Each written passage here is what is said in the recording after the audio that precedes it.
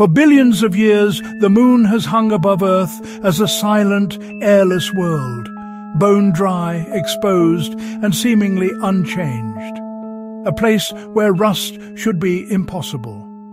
And yet, it's happening. Across parts of the lunar surface, scientists have discovered hematite, a form of iron oxide. In simple terms, rust. On Earth, rust forms easily.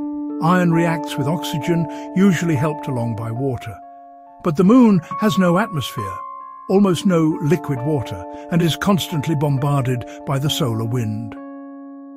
A stream of hydrogen that should prevent oxidation, not cause it. So how can rust exist there at all? The answer appears to lie not on the moon, but on Earth. As our planet rotates, it drags a long magnetic tail behind it, stretching hundreds of thousands of kilometers into space. For several days each month, the moon passes directly through this invisible structure.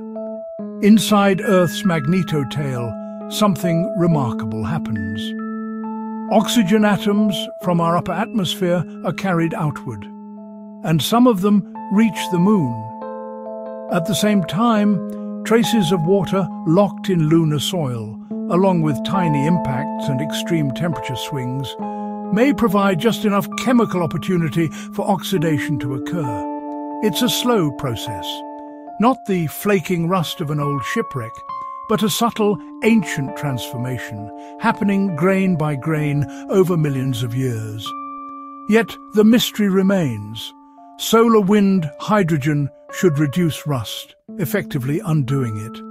And still, hematite persists, which suggests the moon is not as chemically inert as we once believed. It is not merely a dead rock, but a world still quietly interacting with its parent planet. The moon is rusting. And in doing so, it reminds us that even the most familiar objects in our sky still hold secrets waiting patiently to be understood.